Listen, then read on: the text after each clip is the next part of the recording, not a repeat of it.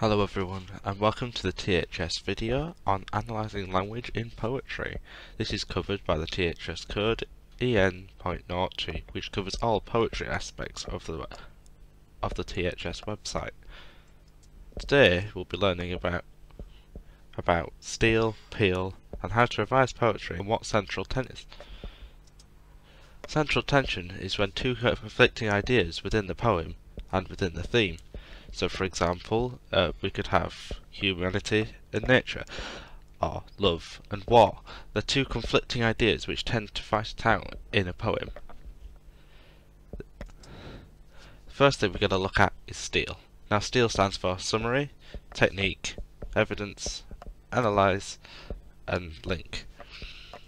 So today we're going to give you an example of where we'd use STEEL.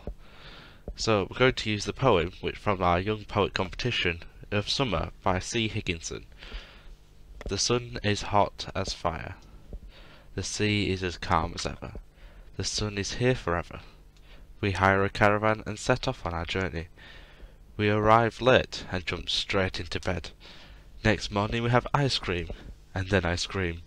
I have brain freeze. I lick the freezing ice cream and then it melts down my throat. Seagulls glide past, silly summer seagulls. Easy in the sky, adventure around every corner. Show me the way. I wish I was a seagull, doing whatever I want. Every day is fun. So, now we're going to demonstrate steel um, for the question, how does Higginson present family memories in the poem Summer? Well, firstly, we're going to write the S, which is summary. So we're going to write Higginson, which is the author's name, presents, and then the theme is family memories.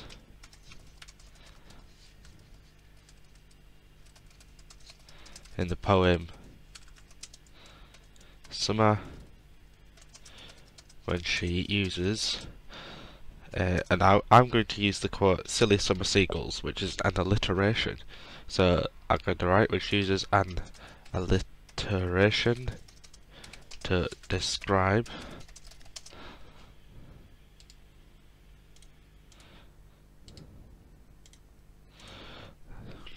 Describe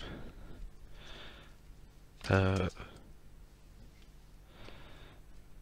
amusement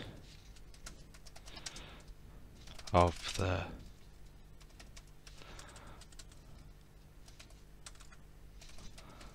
the wildlife on holiday.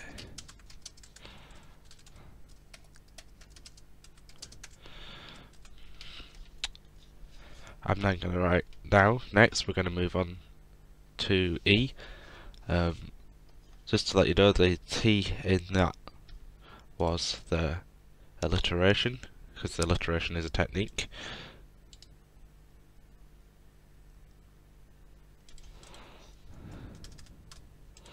Now go to write the evidence. So she does this in the quote.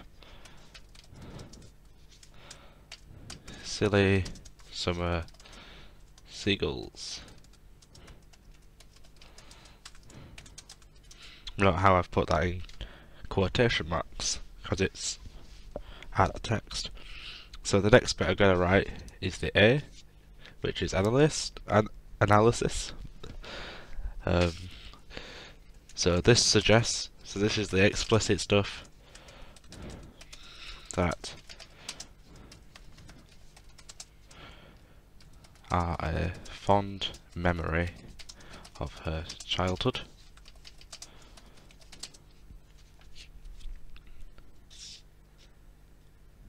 Yeah, uh, this implies that This is a close reminder of her family holiday that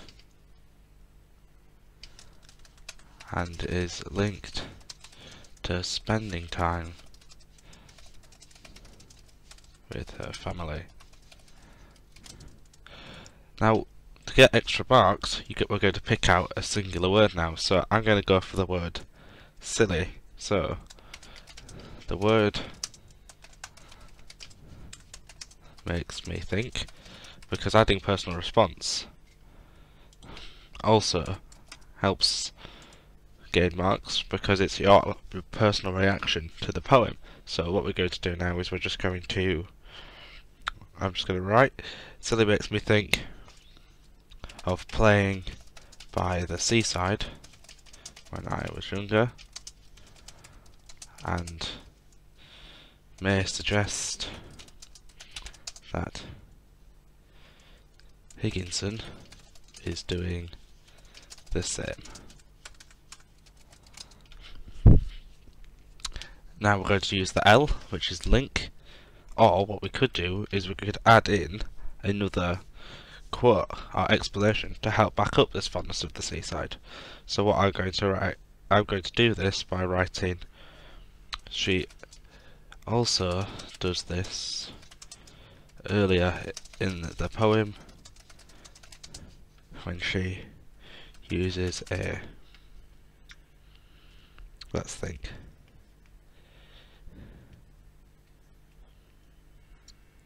adventure around every corner so that is uses a metaphor to she does this in the quote adventure around every corner.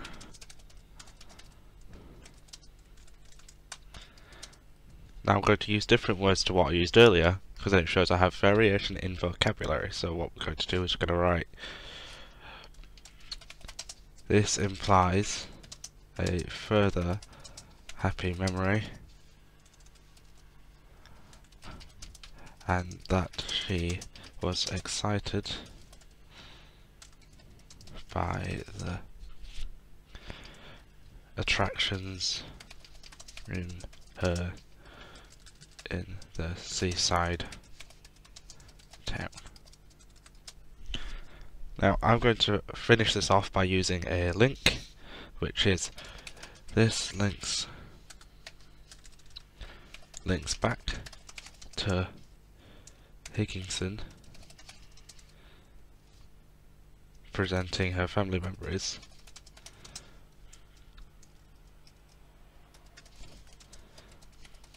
Because it should they're both explicitly, which is out loud, sort of directly, and implicitly, so this is what is suggested in between the lines. Because it shows her both explaining her fond memories of going on holiday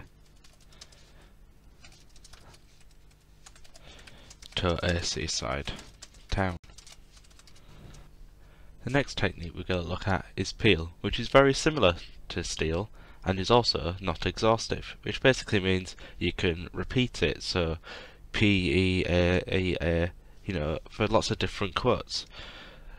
To to show appeal, we're going to use another one of our young poet finalists, which which is B. Brooks, and his poem, The Window. I'm a window, cold on one side, hot on the other. Sometimes I feel like I'm not even there, as if people can't see, can see right through me. They point at me and call me names, like grass, lake, or tree. They make me wonder, am I a window, a lake, or a tree? Or could I choose? What I would be? Am I a thing? Or am I just there? But people stop and stare. I'm not a tree. I'm not a lake. I'm a window. Here, just to wait. So, to show appeal, we're going to use the question, how does Brooks present the feelings of the wind of the window in the window? So we're going to look at the first bit. We're going to write the P first, which is the point. So I'm going to write Brooks presents the feelings of the window in the quote by using uh, Brooks presents the feelings of the window using a uh, using a simile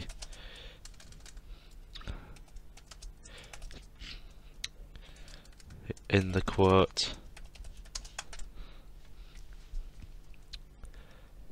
They point at me.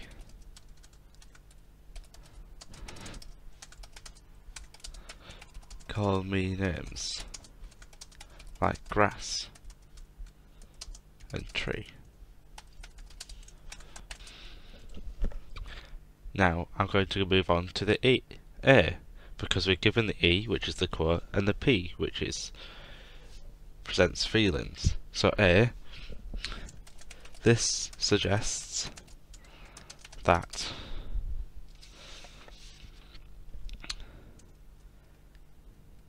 the window faces outside onto a park or into the countryside. However, this may also imply that the writer is ignored and is upset by this. Maybe the window represents, or maybe the window is symbolic of himself as he feels he is being overlooked.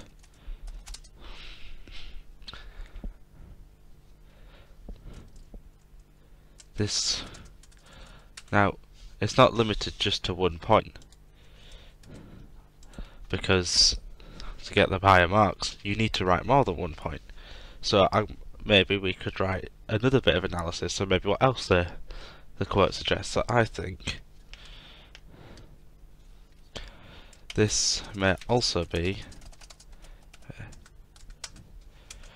uh, admission to the fact he uh, being in real life. Admission.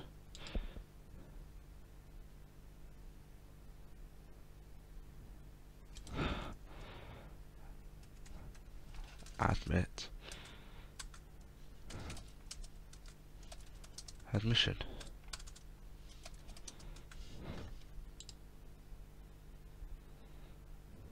Admission, right.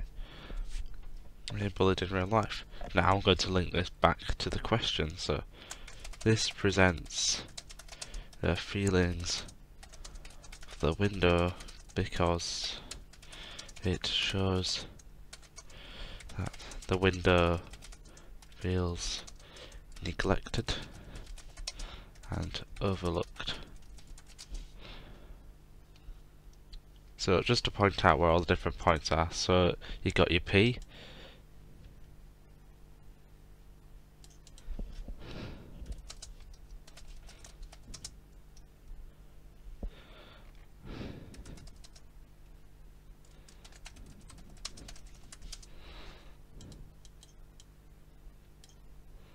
So you got that bit. So I'm just going to highlight that. It's actually a point. Your evidence is this bit.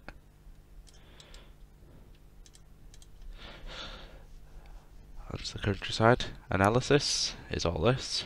And our link this bit.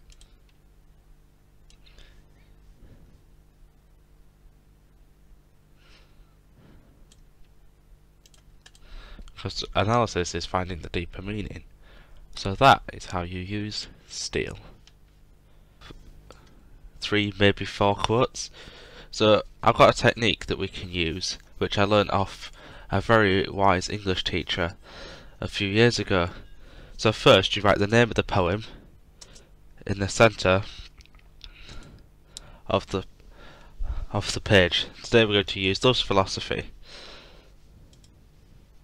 The, the first thing you write is the type. So in this case it's about love, so new love. So you write the theme mainly of the poem. Next you write the central tension, which as we know from earlier is the two conflicting ideas. So in this it's love and reflection, single paired up, nature, humanity. Then you write a quote, the three quotes, and with them you write a picture that makes it memorable. So this we have the mountain kiss the high heaven and waves clasp each other and the fountains mingle with the river and the oceans and the rivers with the oceans. Now I haven't done a third one because that normally comes from the tricky bit. Now the tricky bit is the part of the poem which is really hard to understand. Each poem has one and it's hard and if you're in an exam you mainly need to focus on the easy bits and get the trick and use the tricky bit to get the higher marks. Now the final bit you'll write is the links. Now this poem I've linked to two other poems which is Sing a Song and Porphyria's Lover. Now you could do if you do this for each of the poems inside your anthology and then just try and memorize the pictures because then as soon as you see the picture you'll uh, you'll have a linked response between the picture and the quote.